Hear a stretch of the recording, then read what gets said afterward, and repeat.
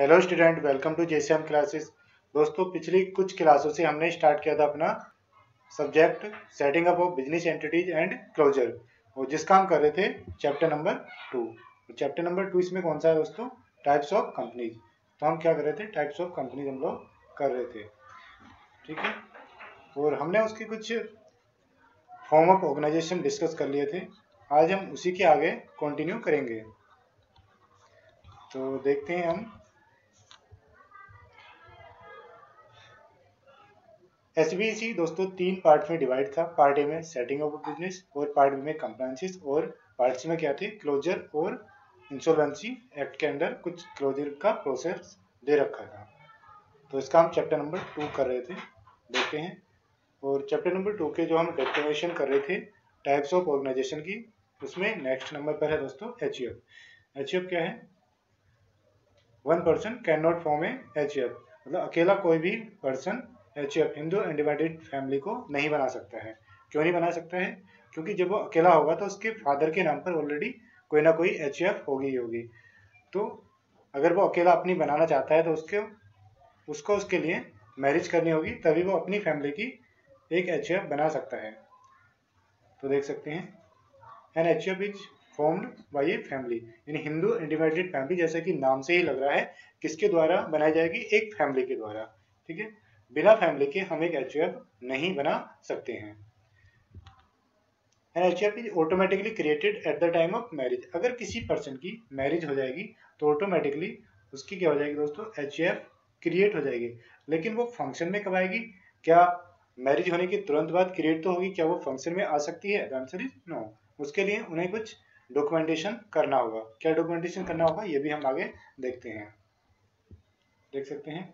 H consist of a common ancestor and all his legal descendants, including brides and unmarried daughters. ये कह रहा है कि H F consist of a common ancestor यानी कि जो भी लोग अभी प्रेजेंट में हैं, उनके पूर्वज जो हैं, सबके कॉमन है। जो भी एक फैमिली के हैं, उनके पूर्वज क्या हैं? कॉमन है। अगर किसी की वाइफ है तो जो उसके पूर्वज कौन होंगे? उसके फादर इन लॉज उसके पूर्वज होंगे। और बाकी के जो डिसेंडेंट्स हैं, सारे के सारे वो भी उनके फैमिली मेंबर ही होंगे। कोई भी को पार्टनर जो एच का पार्टनर होता है, उसको क्या बोलते हैं? को पार्टनर और जिसका मैनेजर होता है, उसको क्या बोलते हैं? कर्ता। तो कोई भी को पार्टनर जो मेंबरशिप ले सकता है, वो सिर्फ़ और सिर्फ़ किससे ले सकता है? बर्थ से। अगर उस फैमिली में पैदा हुआ होगा, तभी वो उसका मेंबर बन सकता है। अदरवाइज़ किसी भी तरीके से एक एच का कोई पर्सन मेंबर नहीं बन सकता है। जैसे कि आप कंपनी एक्ट में देखते हैं, एक मेंबर बनने के लिए कई सारे वहाँ पर स्टेप्स दिए हुए हैं। लेकिन वहीं अगर हम देखेंगे एच के केस में तो एच में सिर्फ़ एक ही तरीके से बन सकता है दैट इज़ बर्थ और दोस्तों कौन कौन पर्सन एच में आते हैं? ये आता है हिंदू आते हैं, बुद्धिस्ट आते हैं, जैन आते हैं सिक्किस आते हैं। कैन फॉर्म एच यानी हिंदू जो लॉ होता है किन किन को गवर्न करता है? टैक्स एक्ट में भी आप देखेंगे इनकम टैक्स एक्ट 1961 में भी हिंदू, बुद्धिज्म और जैन, सिख किसमें आते हैं? हिंदू लॉ के अंडर गवर्न होते हैं और इन्हें हिंदू लॉ फॉलो करना होता है। Usually has assets which comes as a gift दोस्तों नॉर्मली जो हमारी एच होती है, उसके पास जो असेट्स होती हैं प्रॉपर्टीज़ होती है, वो किससे मिलती है? उनके पूर्वजों से मिलती है। ठीक है? तो वो उनको एज ए गिफ्ट मिलती है या एज ए इनहेरिटेबल राइट्स के अंडर उनको मिलती है। ठीक है? या फिर कुछ असेट्स या कुछ प्रॉपर्टी उन्होंने अपने आप परचेज की होगी तो वो उनको एक्वायर्ड प्रॉपर्टी की कैटेगरी में आ जाती है। वो उस प्रॉपर्टी को जो उन्होंने परचेज की है, या फिर जो उनको गिफ्ट मिली है अपने पूर्वजों से, वो क्या करेंगे? आगे आने वाली जनरेशन को हैंड ओवर कर देंगे। अभी कह रहा है once formed must be formally registered in its name should have legal deed ये कह रहा है वंस फॉर्म्ड जब भी आप बनाओगे, कभी भी आप बनाओगे मस्ट बी फॉर्मली रजिस्टर्ड उसको फॉर्मली रजिस्टर करना ज़रूरी होगा। इन इट्स नेम एच का एक नाम भी होगा। नाम क्या होगा? जो उसका करता होगा, उसी के नाम पर एच एफ़ हो जाएगी। सिर्फ़ बाद में क्या लगाना है? एच एफ़ लगाना है। फॉर एग्ज़ाम्पल किसी कर्ता का नाम राम कुमार है तो वो राम कुमार एच के नाम से अपनी एचएफ को रजिस्टर्ड करा सकता है। Should have a legal deed जैसे एल में या पार्टनरशिप फॉर्म में एक डीड होती है, एक एग्रीमेंट होता है, उसी तरह से दोस्तों यहाँ पर भी एक डीड बनाई जाएगी, जिसमें सारी की सारी टर्म्स एंड कंडीशन और जो बिज़नेस है फैमिली बिज़नेस है, उसको डिफाइन किया जाएगा, किस तरीके से वो रन करेगा। ठीक है? और ये कह रहा नीचे for the purpose of I T R H F is a separate legal entity यानी income tax point of view से एच एफ़ क्या है एक सेपरेट लीगल एंटिटी है? जैसे कि कंपनी एक सेपरेट लीगल एंटिटी होती है। सेपरेट लीगल एंटिटी का मतलब है कि जो इसके को पार्टनर होंगे, अगर उनकी कोई अलग से इनकम है, मान लो चार मेंबर है, एक एच में, और वो उनका एक फैमिली बिज़नेस भी है जो उन्होंने एक एचयूएफ के अंडर रन कर रहे हैं। लेकिन उसके दो को पार्टनर जो हैं, वो अलग से जॉब भी करते हैं। तो उनकी इनकम एचयूएफ की इनकम है एक साथ मिलाई नहीं जाएगी बिकॉज़ यहाँ पर सिर्फ़ इनकम टैक्स पर्पज के लिए एच को एक सेपरेट लीगल आइडेंटिटी मान लिया गया यानी एच एक अलग पर्सन है और बाकी के लोग जो हैं, एक अलग पर्सन हैं। कह रहा the same tax rates are applicable to H as to individual. दोस्तों, आपने देखा होगा, जब भी इनकम टैक्स एक्ट एप्लीकेबल होता है किसी पर्सन पर तो एच की अलग से कैटेगरी दी हुई होती है। अगर नहीं दी हुई होती है तो इंडिविजुअल में ही एच को कंसिडर कर लिया जाता है। यानी कि जो बेसिक एग्जामेशन लिमिट एक इंडिविजुअल की कैटेगरी में अवेलेबल होती हैं, वो ही बेसिक एग्जामेशन की लिमिट किसको भी अवेलेबल होंगी? एच को भी अवेलेबल होंगी। अब देखते हैं दोस्तों इसकी कुछ करेक्टरिस्टिक्स करेक्टरिस्टिक्स ऑफ़ एचयूएफ की क्या है?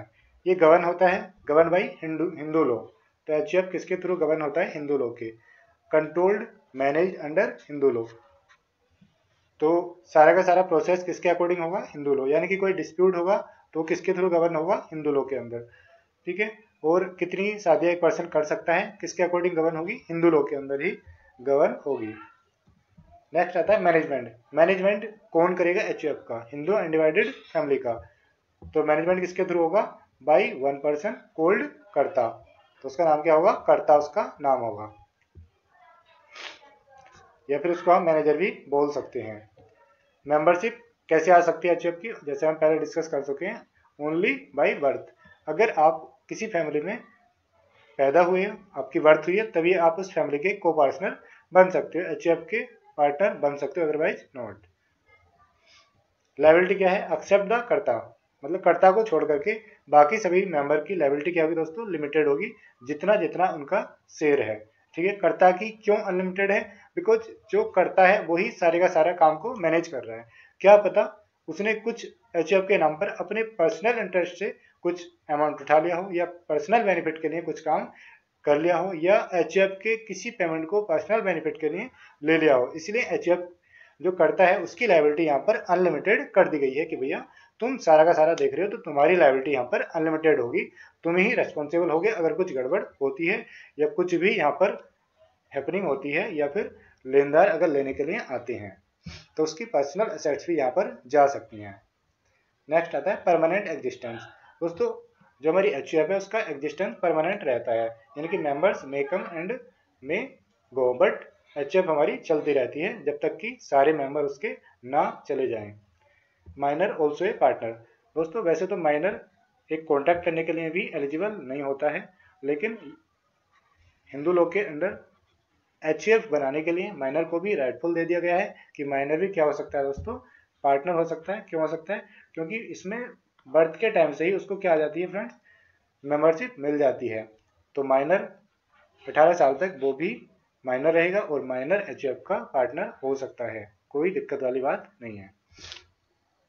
इम्प्लाइड अथॉरिटी किसकी है? कर्ता की है। ओनली कर्ता है the implied authority to contract यानी किसी भी केस में अगर कोई पर्सन आएगा डायरेक्टली बिज़नेस करने के लिए तो वो कोई और पार्टनर अगर नहीं भी है, वहाँ पर प्रेजेंट तो करता ही सारे के सारे मामले को हैंडल कर सकता है, बिकॉज़ हिंदू लॉ के अकॉर्डिंग जो एच की कैटेगरी है, उसमें कर्ता को ही इम्प्लाइड अथॉरिटी दी गई है कॉन्ट्रैक्ट करने के लिए।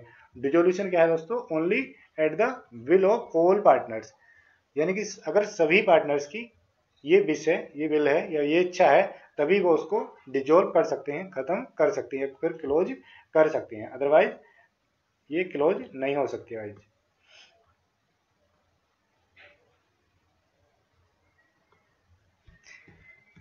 नेक्स्ट देखते हैं। बेनिफिट्स क्या है एचएफ के? बेनिफिट्स हैं दोस्तों इजी टू स्टार्ट है। यानी कि आप इसको इजीली स्टार्ट भी कर सकते हैं। क्योंकि ज़्यादा कुछ है नहीं है, आपकी मैरिज होगी, आपकी एच बन सकती है। जब तक आपकी मैरिज नहीं होती है तो आप अपनी फादर की एच के अंडर आते हैं। यानी अगर आपके फादर की एचएफ है तो आप उसके को पार्टनर होंगे। तो इजी टू स्टार्ट है, सिर्फ़ आपको एक डीड बनाना है, जैसे पार्टनरशिप में बनाते हैं, और आपकी एच स्टार्ट होगी है आपको एक पैन कार्ड के लिए अप्लाई करना होता है, और उसको एक बैंक अकाउंट भी ओपन करना होता है एच के नाम पर। एफिशिएंट मैनेजमेंट हो सकता है, क्योंकि एक ही फैमिली के सारे के सारे लोग हैं। हमें सबका नेचर पता होता है कि किसका कैसा नेचर है, कौन किस चीज़ में एक्सपर्ट है, यहाँ पर कोई झूठ भी नहीं बोल सकता है। ठीक है तो मैनेजमेंट क्या होगा? एफिशिएंट हो सकता है। सेक्रेसी हम मेंटेन करके चल सकते हैं दोस्तों। कोई ऐसा प्रोसेस हम या ऐसा बिज़नेस कर रहे हैं कि जिसमें सेक्रेसी मेंटेन करने की ज़रूरत है तो यहाँ पर एक अच्छी खासी सेक्रेसी मेंटेन हो सकती है just like as proprietorship form में हम लोग कर सकते हैं। प्रॉम्प्ट डिसीज़न यहाँ पर ले जा सकते हैं, यानी कि हम बड़े इजीली डिसीज़न और बड़े कम टाइम में एक अच्छा खासा डिसीज़न ले सकते हैं बिकॉज़ हमारे फैमिली मेंबर ही इन्वॉल्व हैं। और अपनी फैमिली मेंबर के बारे में एक करता, जो मैनेजर है, जो फैमिली का सबसे एज्ड मेल मेंबर है, वही क्या होता है, करता होता है तो वो सब अपनी फैमिली के ओवरऑल इंटरेस्ट को देख करके ही कोई भी डिसीज़न लेगा या कुछ केसेस में अपने फैमिली मेंबर के जो मेंबर हैं, उनके साथ मिलकर के लेगा, उनकी सलाह लेने के बाद में कुछ डिसीज़न वो लेगा।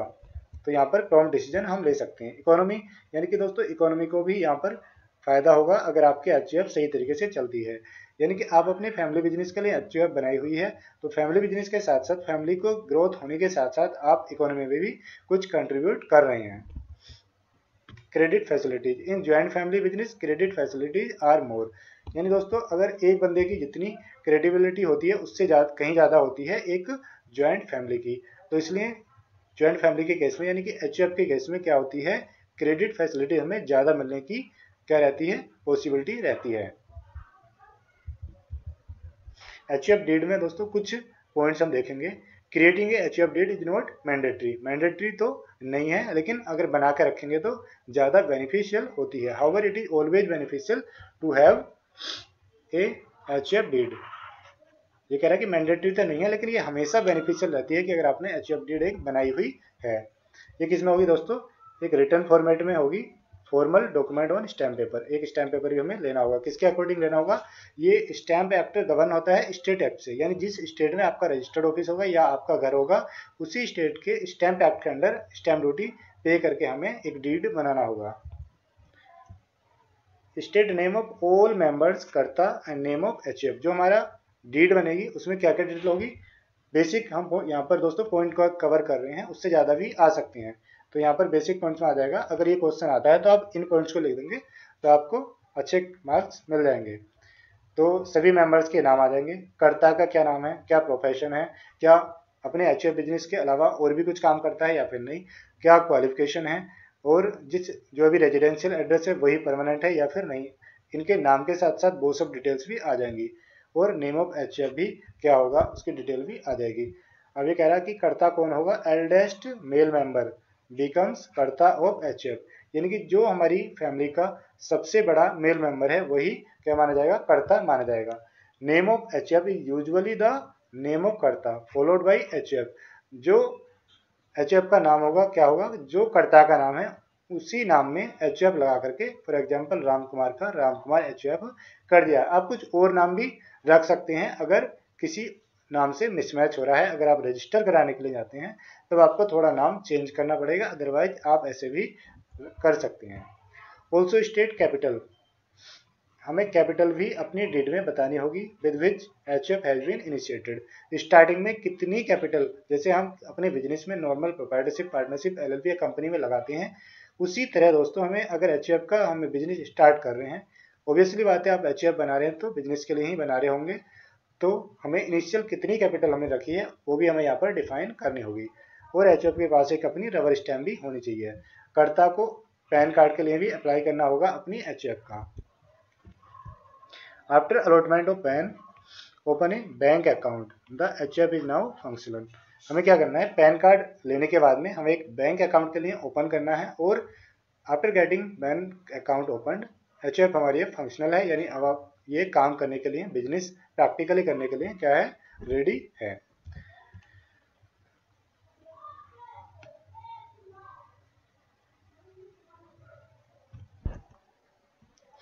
अब सेकेंड जो हमारा पॉइंट आता है दोस्तों, वो है मल्टी स्टेट कोऑपरेटिव सोसाइटी ये बहुत ही इंपॉर्टेंट टॉपिक्स है राइट तो ये एग्ज़ाम वगैरह में भी काफ़ी बार आता है। तो ये गवर्न होता है multi state cooperative society act 1984 जो मॉडिफाइड हुआ था लास्ट 2000 में। उसके बाद भी इसमें कुछ माइनर चेंजेस आए हैं, लेकिन जो मेजर चेंजेस आए थे 2002 के बाद नहीं आए हैं। ठीक है? तो मल्टी स्टेट कोऑपरेटिव सोसाइटी होता है कि एक ऐसी सोसाइटी सोसाइटी अपने नॉर्मल पड़ी होगी, लेकिन मल्टी स्टेट कोऑपरेटिव सोसाइटी आती है एक ऐसी सोसाइटी जो इंडिया के मल्टीपल स्टेट्स में अपना वर्क कर सकती है। लेकिन जो नॉर्मल सोसाइटी होती हैं, वो स्टेट स्पेसिफिक होती है, जो स्टेट के डिस्ट्रिक्ट के रजिस्ट्रार ऑफ़िस से रजिस्टर होती है। लेकिन जो मल्टी स्टेट कोऑपरेटिव सोसाइटी होती है, ये दोस्तों सेंट्रलाइज रजिस्टर्ड होती हैं, जैसे कि एम होता है, या रजिस्ट्रार ऑफ़ कंपनीज़ होती है, होता है। लेकिन ये रजिस्ट्रार ऑफ़ कंपनीज़ के पास रजिस्टर नहीं होती हैं, इनका एक अलग से रजिस्ट्रार होता है सेंट्रल लेवल पर, ठीक है? Central registrar of cooperative societies होता है, उसके पास ये रजिस्टर्ड होती हैं। तो आप अकॉर्डिंगली लिख सकते हैं, और जो भी मैं नोट्स यहाँ पर आपको शो कर रहा हूँ, उसको आप नोट्स ज़रूर कर लें अपने रजिस्टर में, और डिस्क्रिप्शन में भी कुछ टाइम में आपको लिंक मिल जाएगा तो वहाँ से भी आप डाउनलोड कर सकते हैं। और दोस्तों, हम इस ये जो हमारी सीरीज़ चली इसमें हम सारा का सारा सिलेबस कवर करेंगे और विथ फुल सपोर्ट तो आप देखिए और अपने दोस्तों के साथ भी इसको ज़रूर शेयर कीजिएगा। और कुछ टाइम में दोस्तों हम एफएम की भी क्लास स्टार्ट करने वाले हैं जो कि सारा का सारा हम उसका भी सिलेबस कवर करेंगे। तो देख लेते हैं benefits of multi state cooperative society जिसको हम M C M S C S भी पढ़ेंगे। हम्म, इसका हम कलर थोड़ा चेंज कर लेते हैं। ठीक है? Provides loan at reasonable rates of interest to poor यानी ये कह रहा है कि जो मल्टी स्टेट कोऑपरेटिव सोसाइटी होगी, और इसमें भी दोस्तों कई कैटेगरी होती हैं। जैसे आपने देखा होगा credit cooperative society farmer credit farmer cooperative society इस तरीके से कई कैटेगरी की कोऑपरेटिव सोसाइटी यहाँ पर होती हैं। जैसे अमूल है, अमूल भी स्टार्टिंग में कोऑपरेटिव सोसाइटी के तौर पर ही स्टार्ट हुआ था। मंथन मूवी अगर आप देखेंगे तो आपको क्लियर हो जाएगा कि किस तरीके से अमूल की शुरुआत हुई थी। तो अगर हमारी सोसाइटी की कैटेगरी क्या है? क्रेडिट कोऑपरेटिव सोसाइटी है। तो क्रेडिट कोऑपरेटिव सोसाइटी में हम क्या करते हैं? जो मेंबर्स होते हैं, वो ही पैसा इकट्ठा करते हैं और किसी नीडी मेंबर को लोन प्रोवाइड कर देते हैं at lowest interest rate so that कि उसका कुछ फ़ायदा हो जाए। और जो मेंबर्स होते हैं, उनको हम कुछ इंटरेस्ट प्रोवाइड कर देते हैं, जो भी उन्होंने अपना पैसा लगाया हुआ है। ठीक है? Can function pan India pan India का मतलब यहाँ पे परमानेंट अकाउंट नंबर नहीं है, यहाँ पे परजिस्टेंट ऑल ओवर नेशन यानी कि ये पूरे इंडिया में भी काम कर सकता है या फिर इंडिया के कुछ स्टेट्स में भी काम कर सकता है। लेकिन इसको अलावेंस होती है पूरे इंडिया में करने की, अब ये अपनी सुविधा के अकॉर्डिंग कर सकता है कि एक स्टेट में करना है या सभी में करना है। As they can start branches in different district and state इन्हें नंबर ऑफ़ ब्रांचेज ओपन करने की भी फैसिलिटी होती है, यानी कि जितना इनका बिज़नेस है, उसके अकॉर्डिंग ये ब्रांचेज ओपन कर सकते हैं। मिनिमम कंप्लाइंस कॉस्ट दोस्तों कंप्लाइंट कॉस्ट यहाँ पर काफ़ी कम रहती है, यानी कि आपको एक एनुअल रिटर्न फ़ाइल करनी होती है, और आपको इंटरनली बाकी डॉक्यूमेंट्स मेंटेन करने होंगे, और जो हमारी multi level multi state cooperative society है, उसकी हमें आईटीआर भी फ़ाइल करनी होगी। क्रेडिट ये कह रहा है credit society belongs to its members who are owners and customers of their society कह क्रेडिट सोसाइटी क्या है? अपने मेंबर को ही बिलोंग करती है, जो उसके ओनर भी हैं और कस्टमर भी हैं। यानी कि दोस्तों, वो ही लोग तो उसको फंडिंग प्रोवाइड कर रहे हैं और उनमें से ही किसी नीडी पर्सन को स्मॉल स्मॉल अमाउंट्स में हम लोग लोन प्रोवाइड कर रहे हैं। यानी कि ये हम कह सकते हैं कि ओनर भी वही लोग हैं और कस्टमर भी उन्हीं में से कुछ लोग हैं। ठीक है? तो यहाँ पर दोनों लोग सेम हैं। और जैसे कि बैंक के केस में भी ये होता है कि कुछ लोग तो पैसा अपना डिपॉजिट करते हैं और कुछ लोग क्या लेते हैं? क्रेडिट लेते हैं। लेकिन बैंक के केस में ये हो सकता है कि जो मेंबर जो पर्सन बैंक का अकाउंट होल्डर नहीं है, पहले से वो भी लोन ले सकता है।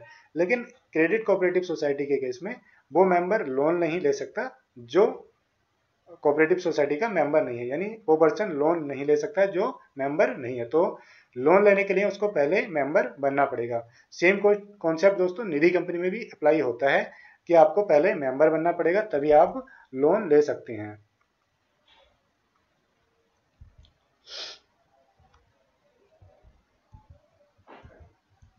आगे देखते हैं। Formation of multi state cooperative society आप मल्टी स्टेट कोऑपरेटिव सोसाइटी अगर रजिस्टर करना चाहते हैं तो उसको कैसे कर सकते हैं?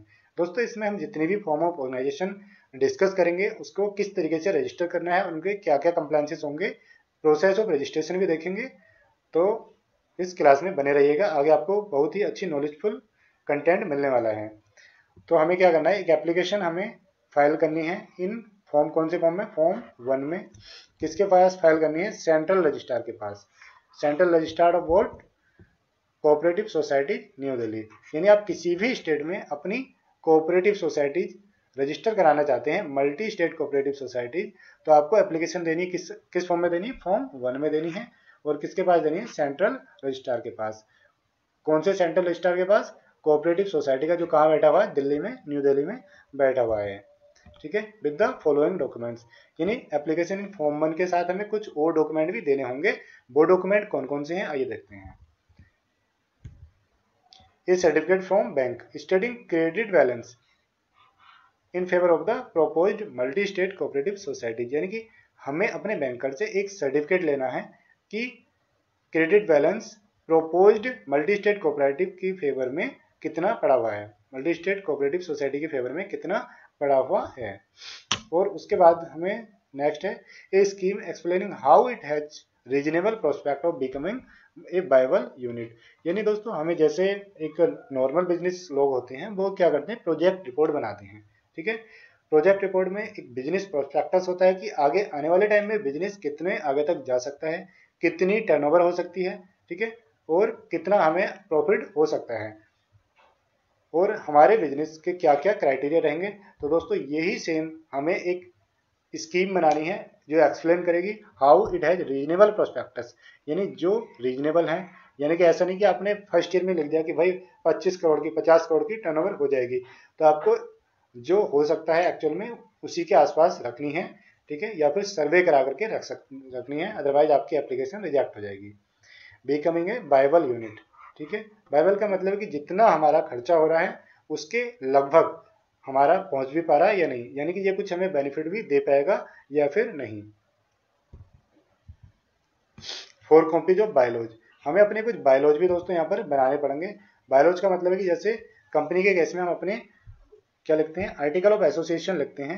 मेमोरेंडम में क्या होता है दोस्तों? ऑब्जेक्ट होता है और कुछ और क्लॉज होते हैं, जैसे लाइबिलिटी क्लॉज और वहीं आर्टिकल्स में क्या होते हैं? यानी बायोलॉज में क्या होते हैं? कंपनी किस तरीके से वर्क करेगी? क्या क्या ड्यूटीज़ रहेंगी? उनके डायरेक्टर्स की, उनके मेंबर की, या कंपनी अपने मेंबर के साथ किस तरीके से बिहेव करेगी? वो सब लिखा होता है बायोलॉज में। तो आपको भी फोर कॉपीज प्रोवाइड करनी है अपने बायोलॉज की। प्रोपोज एरिया ऑफ़ ऑपरेशन आपका एरिया ऑफ़ ऑपरेशन कितना रहेगा? यानी कि प्रोपोज है अभी, उससे थोड़ा बहुत आपका डेविएट कर सकता है, लेकिन आपको फिर भी अपनी एक्सपेक्टेशन बतानी है।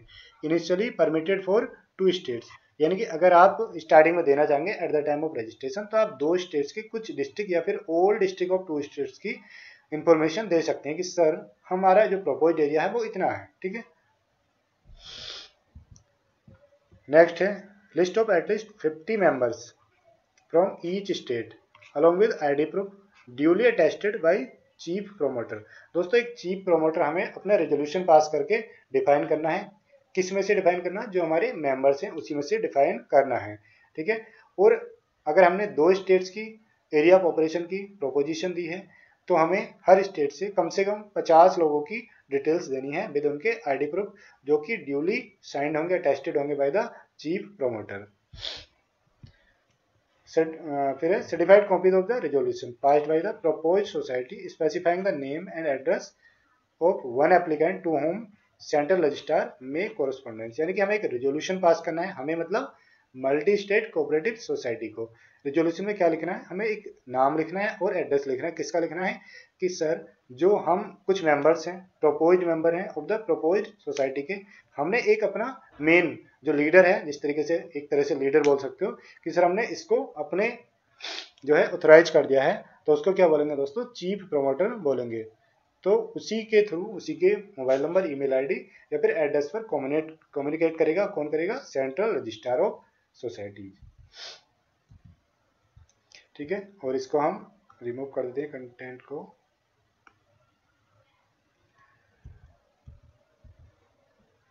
Additional document for societies having object related to thrift and credit and for multi-purpose societies. देखते हैं। कुछ और डॉक्यूमेंट हमें देने होंगे। अगर हम किस लिए बना रहे हैं? क्रेडिट कोऑपरेटिव सोसाइटी के लिए हम अप्लाई कर रहे हैं। क्या देना है एडिशनल डॉक्यूमेंट में? एनओसी देनी है। From the ROCs of the state और यूनियन टेरिटरीज आरओसीएस का मतलब क्या दोस्तों? रजिस्ट्रार ऑफ़ कोऑपरेटिव सोसाइटीज ठीक है?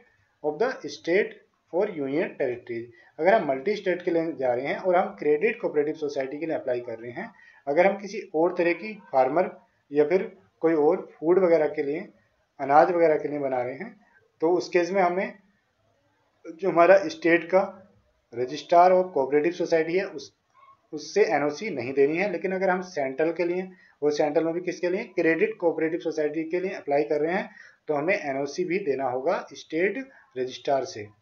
नेक्स्ट है इस certificate to the effect that credential of chief promoter और promoter verified by registrar of cooperative society of states दोस्तों, जो हमारा स्टेट का क्रेडिट कोऑपरेटिव सोसाइटी का रजिस्ट्रार होगा, वो जो हमने chief promoter board resolution pass करके ऑथोराइज किया है, उसके क्या करेगा? क्रेडेंशियल का मतलब उसके आईडी एड्रेस प्रूफ उसके मोबाइल नंबर ईमेल आईडी वगैरह चेक करके एक सर्टिफिकेट प्रोवाइड करेगा और वो सर्टिफिकेट हमें किसको देना है?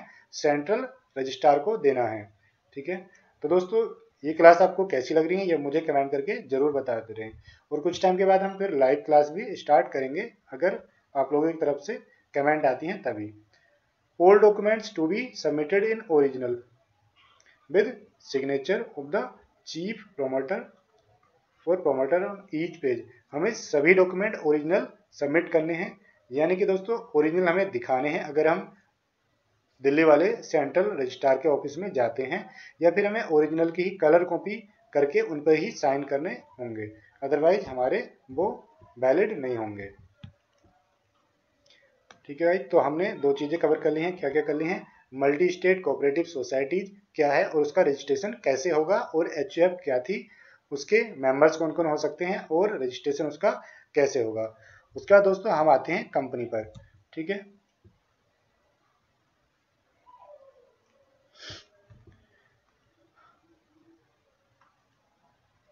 तो जो हमारी कंपनी होती है, वो गवर्न होती है सेक्शन टू और subsection twenty of the company act it means a company registered under companies act 2013 और any other previous company act यानी कि अगर कहीं भी कंपनी की बात आती है, किसी भी तरह की कंपनी हो, जो भी रजिस्टर्ड है या तो कंपनीज़ एक्ट 2013 के या फिर किसी प्रीवियस कंपनी लॉ के अंडर तो वो कौन सी सेक्शन में कवर होगी? Section two sub section twenty में। कंपनी के दोस्तों, क्या करेक्टरिस्टिक्स हैं? उनकी हम बात कर लेते हैं। कई बार इस तरीके का क्वेश्चन ही एग्जीक्यूटिव लेवल पे चार मार्क्स का आ जाता है तो आप ज़रूर इसको प्रिपेयर कर लें। करेक्टरिस्टिक्स क्या हो सकती हैं? एक कंपनी की, ये नॉर्मल पूछ रहा है यानी कि प्राइवेट लिमिटेड कंपनी की या फिर पब्लिक की या ओपीसी निधि, इस बारे में नहीं बात कर रहा है, सिर्फ़ बात कर रहा है जनरल किसी जैसे कि आपसे किसी पर्सन की करेक्टरिस्टिक्स पूछने लगे तो एक नॉर्मल पर्सन की जनरली पूछने लगे कि जनरली लोग कैसा सोचते हैं, या फिर किस बारे में सोचते हैं, खाने के बारे में, पढ़ाई के बारे में एजुकेशन के बारे में वर्क कल्चर के बारे में जॉब के बारे में, या गवर्नमेंट जॉब के बारे में, या प्राइवेट जॉब के बारे में, ठीक है? तो वैसे ही हमें कंपनी की और, लेकिन यही आप कुछ पॉइंट्स ऊपर नीचे करके, अगर आपसे प्राइवेट लिमिटेड कंपनी की पूछी जाती है तो एक दो पॉइंट को हटा करके सेम ही यहाँ पर हो जाती हैं। जैसे कि सेपरेट लीगल आइडेंटिटी है, यानी कि कंपनी और कंपनी के शेयर होल्डर्स ओनर दोनों लोग अलग अलग माने जाएँगे। लो की नज़र में, हर लोग की नज़र में अलग अलग माने जाएँगे। परपेचुअल सक्सेसन है दोस्तों, यानी कि अगर मेंबर की डेथ हो भी जाती है मेंबर ये छोड़ के चले भी जाते हैं तो फिर भी हमारा बिज़नेस चलता रहेगा। कॉमन सील होती है। कॉमन सील का मतलब होता है इंकलेस होती है ये। आपने कई बार देखा होगा गवर्नमेंट ऑफ़िस में जो स्टैंप लगती है उस पर कुछ इंक नहीं होती है, लेकिन जो हमारा पेज होता है उस पर कुछ कटिंग से हो जाती हैं छोटे छोटे छेद टाइप के हो जाते हैं, उसको कहते हैं कॉमन सील पहले ये मैंडेटरी थी कंपनी एक्ट में, लेकिन कंपनी एक्ट 2013 में एक अमेंडमेंट आई थी, कब आई थी? 2015 में. उसके बाद इस प्रोविज़न को रिमूव कर दिया गया और अब कॉमन सील को ऑप्शनल कर दिया गया. अब भी जो बड़ी कंपनीज़ हैं, वो कॉमन सील रखती हैं अदरवाइज़ छोटी प्राइवेट कंपनी कॉमन सील को नहीं रखती हैं. ट्रांसफरेबिलिटी ऑफ़ शेयर्स है एज पर सेक्शन 42 यानी कि कुछ कंपनी में इसके रिगार्डिंग रेस्ट्रिक्शन है, अदरवाइज़ हम अपने शेयर को ट्रांसफ़र कर सकते हैं। ठीक है? Separation of ownership from management. यानी कि दोस्तों, जो हमारा मैनेजमेंट है, उसको ओनरशिप से हमने अलग कर दिया है। अगर नंबर ऑफ़ शेयर होल्डर्स आपकी कंपनी में काफ़ी ज़्यादा हैं 200-300 हैं तो वो सबके सब आना उनके लिए पॉसिबल नहीं है और उनके लिए बिज़नेस को मैनेज करना। इसलिए उन्होंने मैनेजमेंट में कुछ लोग अपॉइंट कर दिए हैं, जो कि बिज़नेस के जो सारे एरियाज़ हैं, उनको अच्छे से मैनेज कर सके हैं। सेपरेट प्रॉपर्टी यानी कि दोस्तों कंपनी की प्रॉपर्टी और कंपनी के ओनर्स की प्रॉपर्टी सेपरेट होगी। एक जगह उनको शामिल नहीं किया जाएगा, जब तक कि कॉरपोरेट वेल हमारी नहीं टूट जाती है। ठीक है? आपने देखा होगा कंपनी के नाम पर भी प्रॉपर्टीज़ होती हैं, किसी कॉलेज के नाम पर जो प्रॉपर्टीज़ होती हैं वैसे ही कंपनी के नाम पर भी प्रॉपर्टीज़ होती हैं। जैसे कई बार आपने सुना होगा कि कुछ जो बैंक की ब्रांच है, वो बैंक ने रेंट पर ले रखी है, लेकिन कुछ जो ब्रांचेज है, वो बैंक की अपनी है बैंक ने खरीद ली है, ठीक है? तो अभी जो प्रॉपर्टी है, वो कंपनी के नाम पर है, यानी कि बैंक के नाम पर है, ना कि उसके मेंबर्स के नाम पर है, ठीक है? तो आगे हम देखते हैं। अभी कह रहा है दोस्तों एडवांटेज क्या है? Advantage and disadvantage of a company form of business तो एडवांटेज में हम देख लेते हैं। सबसे पहला है कॉरपोरेट पर्सनैलिटी हमारी एक कॉरपोरेट पर्सनैलिटी बन जाती है लोगों के नज़र में, हमारे कस्टमर्स के नज़र में एज कंपेयर टू प्रोपाइटरशिप हमें ज़्यादा तवज्जो मिलती है उस केस में। लिमिटेड लाइबिलिटी होती है दोस्तों। लिमिटेड लाइबिलिटी का मतलब कि जो मेंबर्स हैं, जितनी कैपिटल के उन्होंने शेयर एक्वायर किए हैं, सिर्फ़ वो उसी के लिए रेस्पॉन्सिबल हैं, यानी कि उसी के लिए लिमिट लगी गई है। अगर मैंने किसी कंपनी की हंड्रेड रुपीज़ के शेयर परचेज किए हैं तो मैं हंड्रेड रुपीज़ देने के लिए लाइबल हूँ। यानी मेरी लाइबिलिटी क्या है? लिमिटेड है कितने तक? हंड्रेड रुपीज़ तक। ठीक है? ट्रांसफरेबल शेयर्स हर कंपनी के शेयर्स ट्रांसफरेबल ट्रांसफरेबल होते हैं। यानी कि आप उनको जब चाहें ट्रांसफ़र कर सकते हैं। कुछ केसेस में कुछ रेस्ट्रिक्शन आती हैं। आगे आने वाले टॉपिक्स में हम वो भी कवर करेंगे। सेपरेट प्रॉपर्टी होती है, जैसे कि हम अभी डिस्कस कर गए कैपेसिटी टू सीओ सीओ का मतलब होता है केस कर सकते हैं। ठीक है? यानी कि अगर केस कौन लोग कर सकता है, जो भी कॉन्टैक्ट करने के कॉन्टैक्ट एक्ट में क्या है कैपेबल है। और पर्सन है वो। और कंपनी एक्ट में डिफाइन किया गया है कि company is a separate legal identity यानी कि एक सेपरेट पर्सन है किसकी नज़र में? लॉ की नज़र में। और कंपनी को एक पर्सन बोला गया है कॉन्स्टिट्यूशन ऑफ़ इंडिया की नज़र में भी। यानी कॉन्स्टिट्यूशन ऑफ़ इंडिया में भी कहा गया कि कंपनी इज़ ए पर्सन ठीक है? तो कंपनी अपने नाम पर किसी दूसरे पर्सन पर केस भी कर सकती है। डिसएडवांटेज क्या है दोस्तों? कंपनी बनाने के। फॉर्मेलिटीज काफ़ी ज़्यादा हैं। डिस्क्लोजर हमें काफ़ी ज़्यादा देने पड़ते हैं। तो ये क्या है हमें? एक तरह से हमारा डिसएडवांटेज है कि हमें डिफरेंट डिफरेंट टाइप्स के दोस्तों क्या करने पड़ते हैं? हमें डिस्क्लोजर देने पड़ते हैं और काफ़ी फॉर्मेलिटीज हमें निभानी होती हैं। कॉरपोरेट डिस्क्लोजर अलग देने पड़ते हैं, यानी कि हमें अपने एम्प्लॉय को, अपने एम्प्लॉयर को और एम्प्लॉयर को कुछ तो गवर्नमेंट को देने पड़ते हैं और कुछ पब्लिक को देने पड़ते हैं। ठीक है? कि देखो हमने आपका पैसा कोई मिसयूज नहीं किया है, ठीक है? Separation of control from ownership ये अच्छी बात भी है और बुरी बात भी है। बुरी बात किसके प्रोस्पेक्टिव से है दोस्तों? ओनर के। ओनर कहते हैं, पता नहीं, वो लोग हमारे पैसे को जो हमने लगाया है, उसको सही से यूटिलाइज भी कर रहे हैं, उनकी वो चला भी पाएँगे या फिर नहीं? कई लोगों के मन में ऐसा रहता है, ठीक है? तो ये क्या है? डिसएडवांटेज भी है। ग्रेटर टैक्स बर्डन यानी टैक्स बर्डन दोस्तों, ये तो हम सभी जानते हैं कंपनी के केस में काफ़ी है। लेकिन अब बीजेपी की जो, जब से सेंट्रल में गवर्नमेंट आई है तो कंपनी के केस में टैक्स बर्डन को कुछ कम किया गया है। तो डिटेल्ड बाइंडिंग ऑफ़ प्रोसेस दोस्तों, अगर हम कंपनी फॉर्म ऑफ़ बिज़नेस को बाइंडिंग अप में ले जाते हैं क्लोज करना चाहते हैं तो वहाँ पर काफ़ी बड़ा प्रोसेस है। अगर हम फास्टैग रोड में भी जाते हैं, फिर भी हमें अच्छा खासा वहाँ पर पेनल्टी पे करनी पड़ती है क्लोज करने के लिए। आपको अप्रोक्स ट्वेंटी थाउज़ेंड रुपये की कॉस्ट लग जाएगी कंपनी को क्लोज करने के लिए। वहीं अगर आप बनाना चाहते हैं तो गवर्नमेंट फ़ीस आपकी तीन चार हज़ार रुपये में बन जाएगी। प्रोफेशनल फ़ीस अलग रहेगी। और दोस्तों, एक केस आया था new origin limited versus union of India इसमें कहा गया था एक्सपीरियंस ऑफ़ शेयर होल्डर और promoter is the experience of a company इस केस में ये हुआ था, एक कंपनी थी, एक कंपनी नई बनी थी, जिसका नाम था एबीसी लिमिटेड ठीक है, इसके जो प्रोमोटर थे, तीन लोगों ने मिलकर बनाई थी। जो प्रोमोटर ए था, वो पहले प्रोपाइटरशिप में कुछ कंस्ट्रक्शन वगैरह का काम करता था पिछले दस साल से। जो और बी पर्सन था और सी पर्सन था, ये फ्रेश एकदम फ्रेशर थे, यानी कि कुछ अपनी पढ़ाई लगाई कर रहे थे और जैसे ही ये इनका कोर्स वगैरह कंप्लीट हुआ इन्हें कुछ बिज़नेस करने की सूझी। और उसके कुछ टाइम बाद दोस्तों गवर्नमेंट डिपार्टमेंट में एक टेंडर निकला, एक रोड कंस्ट्रक्शन या फिर बिल्डिंग कंस्ट्रक्शन के रिगार्डिंग ठीक है? इस कंपनी ने इस टेंडर के लिए अप्लाई किया। तो जो भी इसका क्राइटेरिया था कंपनी ने सारा का सारा फुलफिल कर दिया। लेकिन इस टेंडर की एक कंडीशन ये भी थी कि जो भी अप्लाई करेगा, उससे टेन ईयर का एक्सपीरियंस भी होना चाहिए इसी काम में, ठीक है?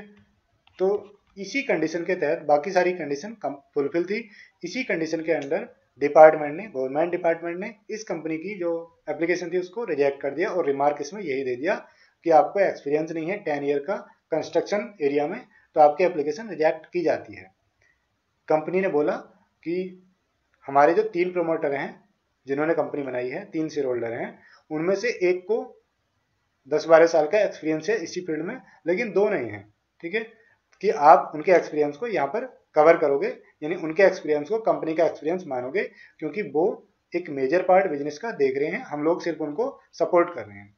लेकिन डिपार्टमेंट ने इस बात को नहीं माना। कंपनी ने एबीसी लिमिटेड ने दिल्ली हाईकोर्ट में केस डाल दिया। हाईकोर्ट ने भी डिपार्टमेंट की फेवर में ही जजमेंट दी कि डिपार्टमेंट सही कह रहा है, जो शेयर होल्डर का एक्सपीरियंस है कंपनी का एक्सपीरियंस में काउंट नहीं होगा।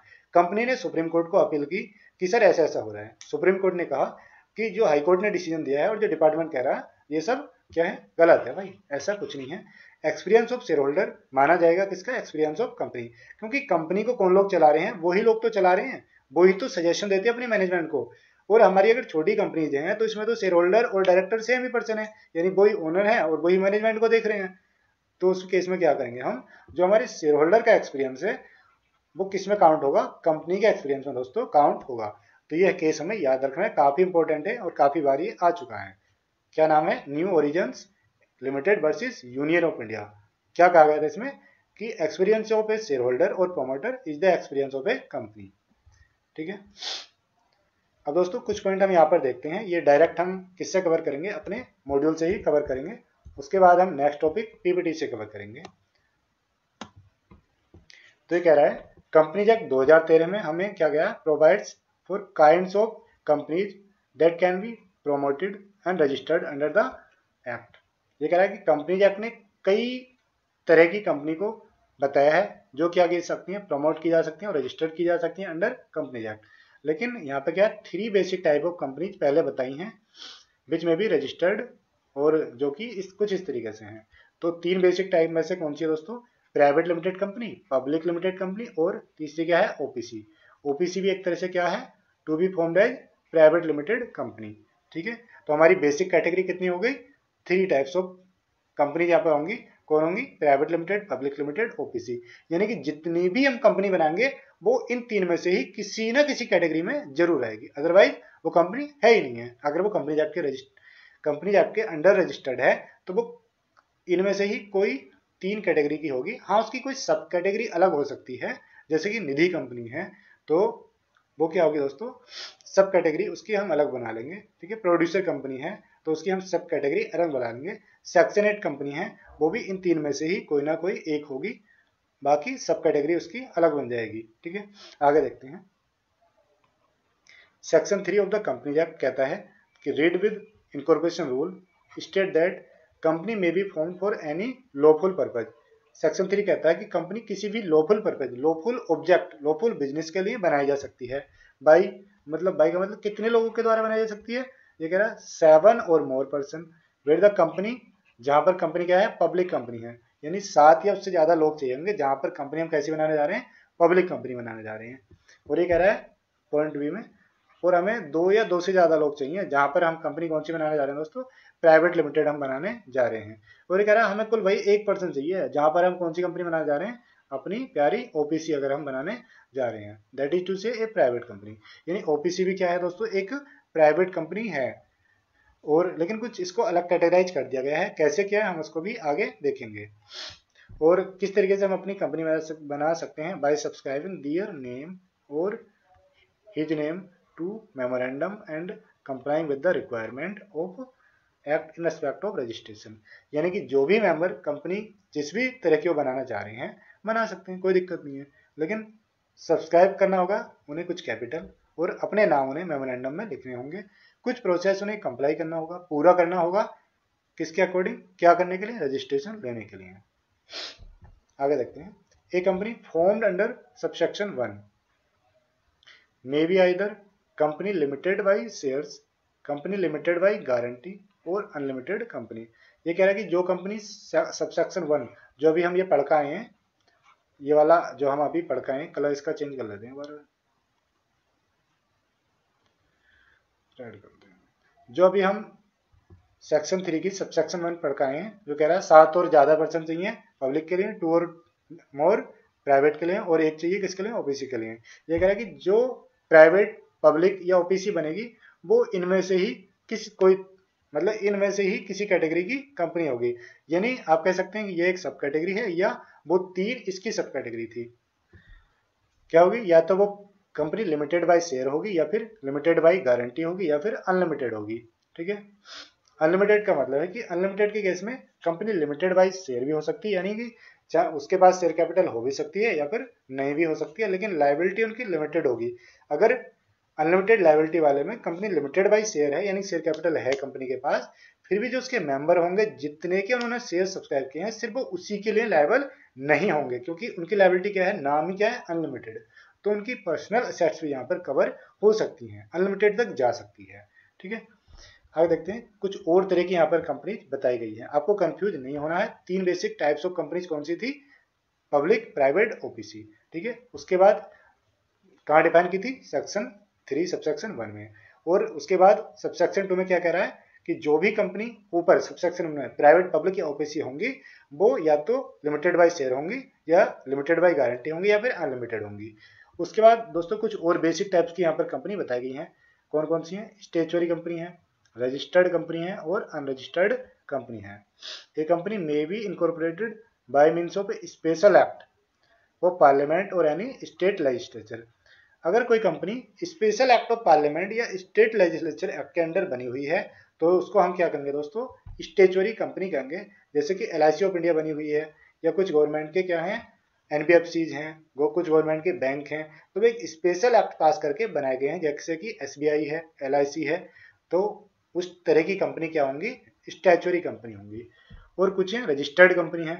Company registered under companies act और any other previous company law. तो जो कंपनी रजिस्टर्ड है किसके अंडर? कंपनी एक्ट के या फिर किसी पहले प्रीवियस कंपनी एक्ट के अंदर उनको हम क्या कहेंगे दोस्तों? रजिस्टर्ड कंपनी कहेंगे। अनरजिस्टर्ड कंपनी हम किसको कहेंगे तो?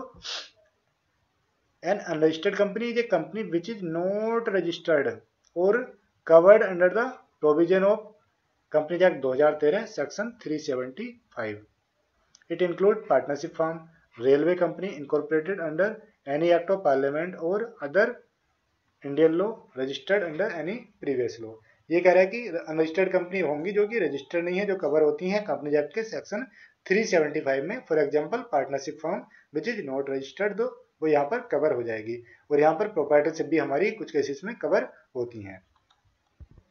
तो जो स्टेचुरी कंपनी है तो वो किसी स्पेशल एक्ट के अंडर बनी है और अनरजिस्टर्ड कंपनी जो रजिस्टर्ड है ही नहीं है। फॉर एग्ज़ाम्पल प्रोपाइटरशिप फॉर्म या पार्टनरशिप फॉर्म लेकिन हमारी बीच की मेन कैटेगरी क्या है दोस्तों? रजिस्टर्ड कंपनी रजिस्टर्ड कंपनी कौन सी है? जो कंपनी रजिस्टर है कंपनी एक्ट 2013 के अंदर या फिर पहले किसी कंपनी लो के अंदर। ठीक है, आगे देखते हैं। जो रजिस्टर्ड कंपनी होंगी, उनमें से ही कुछ कंपनी होंगी लिमिटेड बाई शेयर और कुछ कंपनी होंगी लिमिटेड बाई गारंटी और कुछ होंगी अनलिमिटेड कंपनी ठीक है? और इन तीन में से ही कुछ कंपनी होंगी प्राइवेट होंगी, कुछ पब्लिक होंगी और बाकी ये कुछ सब कैटेगरी और आ गई हैं। कुछ फॉरेन कंपनी होंगी, कुछ गवर्नमेंट कंपनी होंगी। आपको कन्फ्यूज़ नहीं होना है। Section three sub section one में क्या गया? कहा गया कि तीन तरह की basic basic type of company हो सकती हैं। किसके अंडर कंपनी एक्ट के अंडर जो भी कंपनी बनेगी, इन्हीं में से तीन कैटेगरी की बनेगी। कौन सी थी? प्राइवेट थी पब्लिक थी और ओपीसी थी, ठीक है? और उन तीन कैटेगरी में कोई ना, इन तीन में से एक और फीचर होगा, जो फीचर सबसेक्शन टू में दिए गए थे। कौन से थे? लिमिटेड बाई शेयर होगी लिमिटेड बाई गारंटी होगी या फिर अनलिमिटेड होगी भैया, ठीक है? उसके सब कैटेगरी यहाँ पे आ गए जैसे फॉरेन कंपनी है। फॉरेन कंपनी क्या होगी? या तो प्राइवेट होगी या फिर पब्लिक होगी ओपीसी हो ही नहीं सकती है, क्योंकि ओपीसी सिर्फ़ इंडियन रेजिडेंट पर्सन ही बना सकता है। इनके पास सिर्फ़ दो ही ऑप्शन है। दोनों में से ही एक, किसी एक प्रकार की बना सकते हैं। और पहले हमने वो बांट लिया कि ये भाई प्राइवेट बनाएँगे ठीक है? फिर आपको देखना है आपको अपने क्लाइंट को सजेस्ट करना है कि सर आपको दो ऑप्शन है। या तो प्राइवेट बना लो ठीक है? या तो आप कौन सी बना लो? प्राइवेट बना लो या फिर पब्लिक बना लो। अब मान लो मिस्टर जॉन था। मिस्टर जॉन को आपने इस तरीके से बताया। उसने कहा कि सर मैं प्राइवेट बनाना चाहता हूँ। ठीक है? आपने कहा कि सर आपके पास अब तीन ऑप्शन और आते हैं। आप कम लिमिटेड बाई शेयर रखेंगे लिमिटेड बाई गारंटी रखेंगे अनलिमिटेड रखेंगे। वो कहता है कि मुझे गारंटी वारंटी में तो गारंटी देनी पड़ेगी, लेकिन मुझे अभी पैसा चाहिए, ठीक है? तो अनलिमिटेड में यही है कि उसके जो बाकी मेंबर है, वो हो सकता है रेडी ना हो। वो कह रहे हैं कि मुझे लिमिटेड बाई शेयर ही रखनी है, ठीक है? तो आप कहेंगे ओके डन हम लिमिटेड बाई शेयर के अकॉर्डिंग आपके डॉक्यूमेंट प्रिपेयर करते हैं। आगे देखते हैं। Classification of companies on the basis of incorporation कुछ और सब क्लासिफिकेशन यहाँ पर आगे हैं, जिनको अलग अलग तरीके से अलग अलग नामों से हम जानेंगे। Companies may be incorporated under following categories यानी incorporation on the basis of incorporation company को कुछ इस तरीके से बांटा गया है। कौन सी है दोस्तों? स्टेचुरी कंपनीज़ जो कि इस किसी स्पेशल एक्ट के अंडर रजिस्टर्ड हैं। और रजिस्टर्ड कंपनी जो कि रजिस्टर्ड है कंपनी एक्ट 2013 या फिर पुराने किसी कंपनी लॉ के अंडर रजिस्टर हैं। उसके बाद देखते हैं classification on the basis of liability यानी कि सिर्फ़ उसी की बात कर रहा है जो ऊपर सेक्शन वन और टू ऑफ़ सेक्शन थ्री में बात की थी, उसी को ये यहाँ पर फिर से डिफाइन कर रहा है। तो लाइबिलिटी के केस में, यानी जो अगर हम क्लासिफिकेशन करेंगे लाइबिलिटी के बेस पे तो कितने तरह की हो सकती है? तीन की। यानी कौन कौन थी? अनलिमिटेड, लिमिटेड बाई गारंटी और लिमिटेड बाई शेयर, ठीक है? अगर इनकॉर्पोरेशन के बेस पे बात करेंगे तो स्टेचुरी कंपनी जो स्पेशल एक्ट के अंडर रजिस्टर्ड है और रजिस्टर्ड कंपनी जो कंपनी एक्ट के अंडर रजिस्टर्ड है, इसके या फिर पुराने वाले के अनरजिस्टर्ड कंपनी जो रजिस्टर्ड है नहीं है। तो आई होप आपको क्लियर हो रहा होगा। कमेंट ज़रूर करते हैं दोस्तों। वीडियो अच्छी लग रही हो तो लाइक भी करते रहें। कुछ अदर फॉर्म ऑफ़ कंपनीज़ भी हैं, जैसे कि सेक्शनेट कंपनी है। सेक्शनेट कंपनी कुछ स्पेशल पर्पज के लिए बनाई जा सकती है। स्पेशल पर्पज कौन से होंगे? जैसे एनजीओ का काम है। नॉन प्रॉफिट मोटिव के लिए दोस्तों बनाई जाती है ये। तो इसके लिए सेंट्रल गवर्नमेंट एक लाइसेंस भी देती है, जो कि आपको अब अलग से फ़ाइल नहीं करना होता। अब स्पाइस के साथ ही आपको मिल जाता है। ठीक है? और ये सिर्फ़ उन्हीं कंपनी को मिलता है जिनका जिनका क्या होता है? बिज़नेस कुछ इस तरीके का होता है, जो ऑब्जेक्ट है आपका बिज़नेस का, यहाँ पर डिफाइन कर रखा है। अगर आपके बिज़नेस का जो ऑब्जेक्टिव है, वो क्या है?